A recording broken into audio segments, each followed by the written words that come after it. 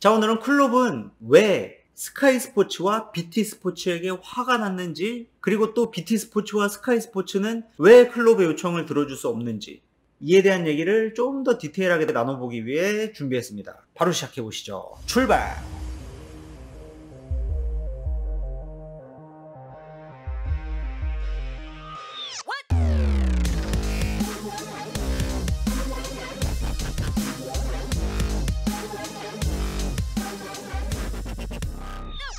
자, 먼저 클롭이 화가 난 배경에 대한 설명입니다. 클롭은 아탈란타와의 경기를 11월 26일 새벽 5시에 해야 돼요. 그리고 그 다음 브라이튼과의 리그 경기를 28일 저녁 9시 반에 해야 되죠. 두 경기 사이에는 64시간의 갭밖에 존재하지 않습니다. 날짜로 따지면 이틀 반밖에 안 되는 시간이죠. 그래서 클롭은 현지 시간 기준 토요일 12시 30분에 중계권을 갖고 있는 BT 스포츠 측에게 경기를 연기해달라는 요청을 했는데요. BT 스포츠 측은 아 근데 이거를 우리가 우리 몸대로 할수 있는 게 아니라서 이거는 좀 불가능할 것 같아. 그러니까 그냥 원래대로 경기를 해줘. 라고 이야기할 상황입니다. 그래서 클럽은 화가 굉장히 많이 난 거죠. 왜?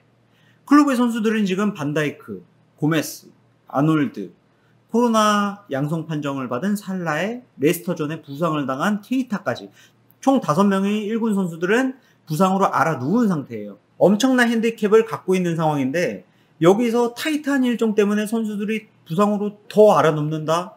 그렇게 되면은 클럽 같은 입장에서는 시즌을 제대로 운영할 수가 없게 되는 거겠죠. 그래서 리그 일정을 연기해달라고 부탁을 한 거고요.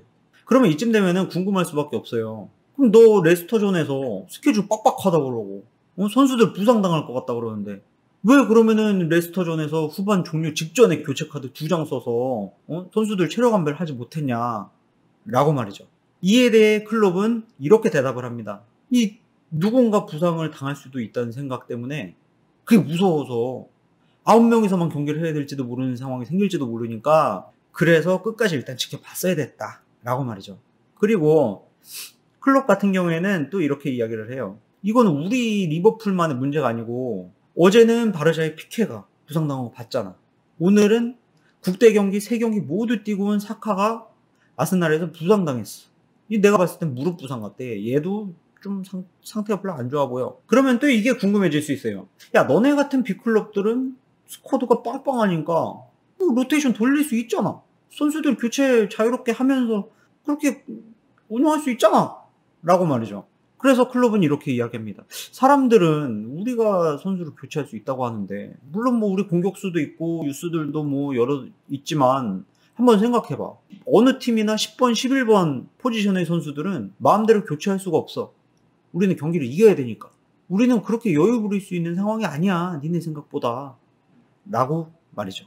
다들 여유 부릴 수 없는 거는 알잖아. 근데 우리는 지금 챔피언스 리그까지 뛰어야 되는데 리그 일정 좀 변경해 달라고 하는 게 그게 잘못된 거야? 라는 클롭의 주장은 솔직히 그렇게 틀려 보이진 않아요. 사실은 지금 모든 빅클럽들이 진통을 굉장히 크게 겪고 있으니까 말이죠. 모두가 다 부상으로 나가 떨어져 가고 있는 상황입니다. 굉장히 심각한 상황이죠. 자, 그럼 클럽의 입장에 대해서는 한번 나눠봤고요. 그러면은 그 반대쪽, 방송국 놈들, 클럽이 얘기하는 책상에 앉아서 펜대 굴리는 놈들, 이놈들의 입장도 한번 봐야 좋지 않겠어요? 자, 기존에는 프리미어 리그의 중계권을 스카이 스포츠가 갖고 있었어요. 독점하고 있는 양상이었는데, 어느 날 BT 스포츠가 끼어들어서 이 중계권을 양분하게 되는 거죠. 그래서 이 지금 경기마다 입찰 전쟁이 엄청 심각한 상황입니다. 그 중에서 BT 스포츠는 주말 경기를 딱 한 경기를 갖고 있거든요. 그 한 경기가 토요일 12시 30분, 즉 점심시간 그 한 경기 뿐인 거예요. 평일 중계는 스카이 스포츠에게 밀려서 2순위로 밀려나게 된 상황이고요. 그러니까 BT 스포츠 입장에서는 토요일 한 경기밖에 없는데 그 한 경기가 리버풀 경기야. 그럼 이거는 일단 포기하고 싶지가 않은 거죠. 누구, 누구나가 다 그렇겠지. 어느 방송국 놈들이나 그렇겠지만은 리버풀 같은 빅클럽의 경기를 포기하는 건 쉽지가 않아요. 그렇다고 이 시간대를 뒤로 미루면 스카이 스포츠와 방송 시간대가 겹치기 때문에 이거는 거의 계약 위반 사항이 되는 거거든요. 그러니까 스카이 스포츠의 허가를 받아야 되는 거예요. 근데 스카이 스포츠가 이거를 허가를 해주냐? 안 해주죠. 왜냐면은 잘 먹고 잘 살고 있던 내 나와바리에 어? 얘가 들어와서 지금 회방을 나서 프리미어리그 중계권료가 지금 엄청 비싸졌는데 내가 얘를 뭐하러 도와줘야 돼? 라고 생각을 하, 할 수밖에 없는 거잖아요. 솔직히 이거는 밥그릇 싸움이니까 말이죠. 그래서 클럽은 이 두 방송사끼리의 대화가 있어야 된다. 합의가 있어야 된다라고 이야기를 했던 거예요. 당연히 리버풀 측의 입장은 이해가 가지만은 반대로 BT 스포츠 입장에서도 좀 이해를 우리가 해줘야 되는 부분이 아닐까 싶어요. 왜냐면은 얘네가 이 불리한 조건임에도 불구하고 중계권을 따오는 데 있어서 얼마를 사용했는지 혹시 아십니까?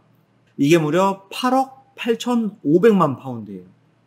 8억 8,500만 파운드라고 그러니까 이게 그 체감이 잘 안 가시죠. 한화로 따지면은 1조 3천억입니다. 1조 3천억.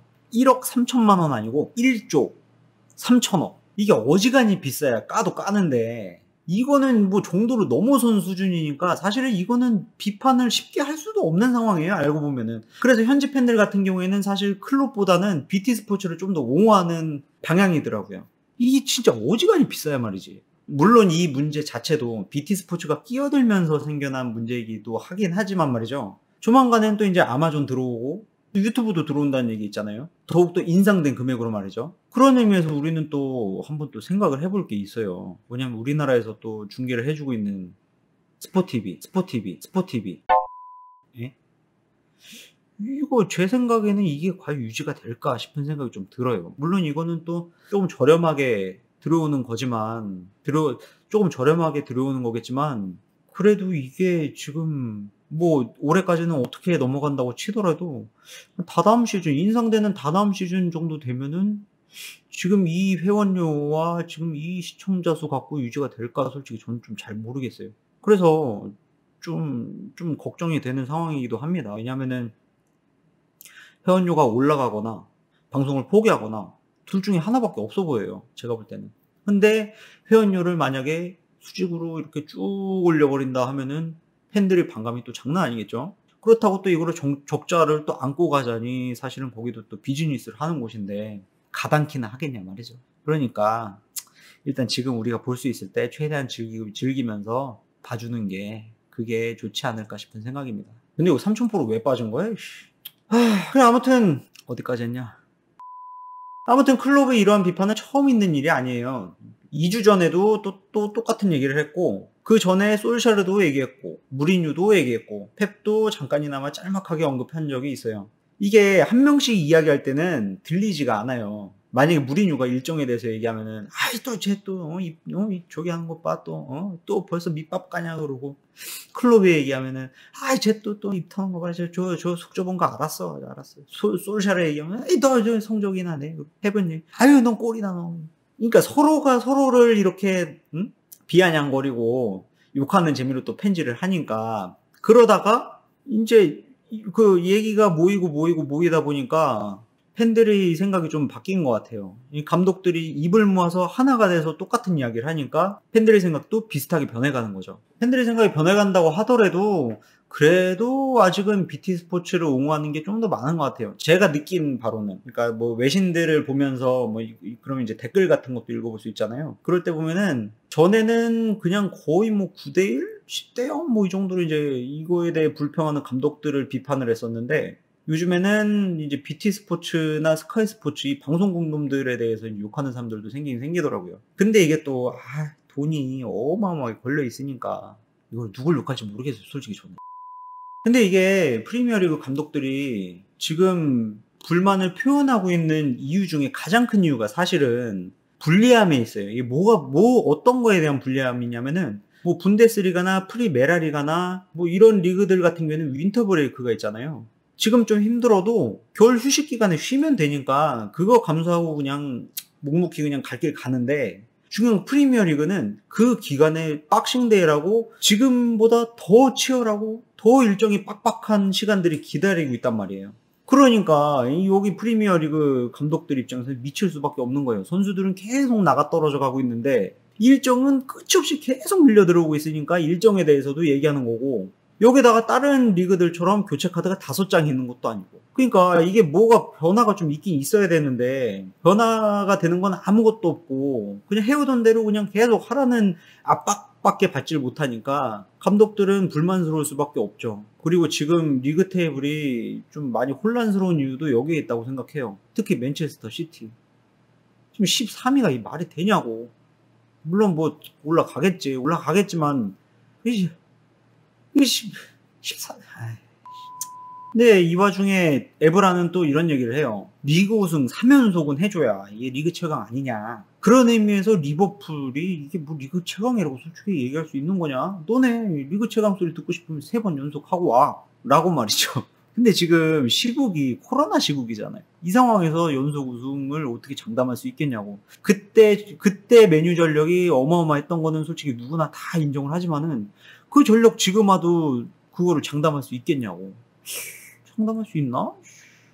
뭐 아무튼 그래도 이 시국을 극복하고 리버풀이 만약에 리그 우승 이번에 또 따내면은 3년 동안에 챔스 우승 한 번에 리그 우승 두 번이니까 이건 좀 인정해줘도 되지 않을까 싶어요. 진짜 솔직히 내가 볼 때는 리버풀이 만약에 이번에 우승하면은 어, 깔게 없는 것 같아 진짜로 그런 의미에서 이게 또 시티가 또 2연속 우승할 때 그 저기 domestic 아 얘기를 왜 하냐 domestic treble 할 때 또 그때 챔스 우승 한번 했으면은 역대 최강 맨시티잖아 근데 또 이게 아 그러니까 이게 이게 좀 이번 이번 시즌 이렇게 했으면 좋겠어. 그럼 차라리 리버풀이 리그 우승하고 어차피 시티는 좀 약간 힘들었고요. 내가 볼 때는 지금 벌써 이, 벌써 지금 저기 한 거 보면은 리그 우승은 지금 8라운드 만에 지금 판가름이 난다고 하는데 솔직히 이번 시즌은 그냥 챔스 진출까지만 하고 리버풀이 리그 우승하고 시티가 챔스 우승하는 걸로 해. 그러고 둘 다 가장 강력한 팀 해. 맨유 그 3연속 우승할 때 그거 그때 가장 강력한 팀 하고 여기 두 팀도 가장 강력한 팀 해. 그냥 그렇게 그렇게 가자고. 자 오늘은 방송국 놈. 자 오늘은 클럽이 방송국 놈들에게 화가 난 이유와 이 방송국 놈들조차도 이 화를 가라앉혀 주지 못하는 이유에 대해서 한번 나눠봤는데요. 유익한 시간이 되셨나 모르겠습니다. 다음에는 좀 더 유익한 내용으로 돌아오도록 하겠습니다. 그럼 축구는 뽕이야! 뽕뽕뽕